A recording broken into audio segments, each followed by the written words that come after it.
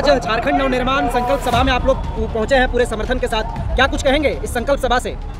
देखिए जो आज हम लोग जो नवनिर्माण जो संकल्प सभा में हम लोग जो उपस्थित हुए हैं ये हम लोग का जो आज का जो युवा का जो इतना बड़ा जो हम लोग आज रैली हुआ है आज हम लोग जो यहाँ जब एकजुट हुए हैं हम लोग का यही मकसद है कि जो ये सरकार जो है असफल सरकार। जो सरकार की विफलता है वो देखने को आएगी। वो समझने के लिए जैसे कि अभी बेरोजगारी भत्ता की बात करती है। बेरोजगार भत्ता ना इतने सालों से कहाँ थे? चार सालों से आप कहाँ थे? जब इलेक्शन सर पे आया है तो आप मैया योजना बना करके, अब इलेक्शन के नाम में जैसे होता है ना कि पाँच सौ रुपया लो और हमको वोट दो, वो चीज़ आप करने का काम कर रहे हैं। आदिवासी लाए हैं, योजना सफल नहीं हुआ है। ये जो सरकार है, पाँच साल से हम लोग का युवा को सिर्फ़ ठकेने का काम किया है। भत्ता नहीं चाहिए, हम लोग को रोज़गार चाहिए। लेकिन ये सरकार सिर्फ़ हम लोग को भत्ता का एक आश्वासन देते आए हैं अभी तक में। और ये सरकार से हम लोग ज़्यादा कुछ आसार उम्मीद हम लोग का नज़र नहीं आ रही है। इसी कारण से हम लोग ये जो आज जो सभा जो हम लोग किए हैं युवा का ये उन्हीं का विरोध में आज हम लोग प्रदर्शन किए कैसे कह सकते हैं केवल भत्ता दे रहे हैं रोज़गार दे रहे हैं अबुआ आवास दे रहे हैं दौड़ करवा रहे हैं उत्पाद सिपाही में बालू फ्री में दे रहे हैं मैया पेंशन योजना दे रहे हैं। फिर कैसे बोल रहे हैं कि देखिए आपको हम मैया योजना के बारे में हम आपको बता देना चाहते हैं। ये जो वृद्धा पेंशन और एक अ, क्या बोलते हैं उसको ये एक और युवा जहाँ वृद्धा पेंशन को रोक के अगर आप हमको ये दे रहे हैं मैया पेंशन जो दे रहे हैं उससे हमको समाधान तो नहीं लग रहा है कि आप किसी चीज़ को रोक के यार अब हमको मैया योजना बना के अगर हमको पैसा दे तो ये कोई समाधान नहीं है। कोई समाधान नहीं। ये समाधान इसमें नहीं लग रहा है। अपने क्षेत्र में बहुत सारे वादे किए जैसे चूल्हा प्रमुख की अगर बात करें तो कहा था कि प्रत्येक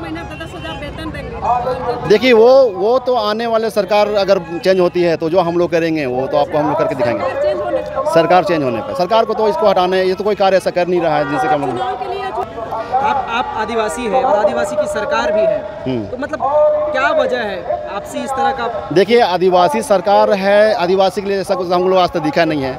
हम लोग अभी बहुत सारे ऐसे अपना आदिवासी का वादा किए हैं। कि जितना भी आदिवासी युवा हैं या युवतियों को बहुत सारा रोज़गार देने का भी बात हुआ था। बहुत सारा सब हम लोग को कुछ ऐसा मिला नहीं। मिलने का कारण क्या है कि अब देख लीजिए अभी यहाँ जितने भी योजना जितना आदिवासी लाए हैं योजना सफल नहीं हुआ है।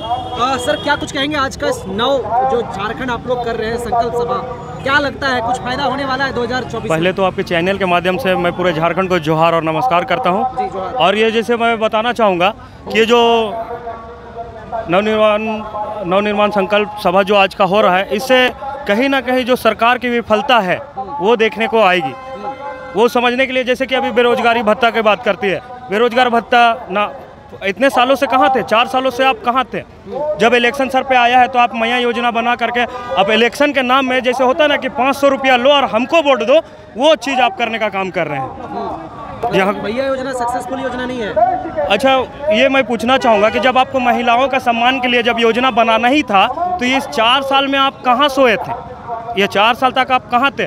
आपकी सरकार विफल सरकार है ये देखने के पता चलता है आप केवल मन में लालच भर करके और केंद्र सरकार में थोप करके अपने सरकार को आप बचाने का काम कर रहे हैं।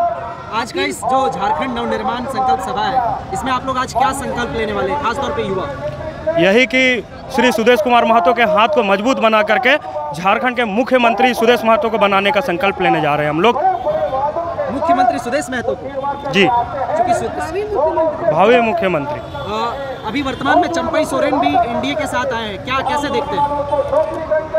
मैं उनका सम्मान करता हूँ क्योंकि उन्होंने अपने क्षेत्र में बहुत काम किया और उनके हाथ में जितना भी काम था उनका भी मैं सम्मान करता हूँ।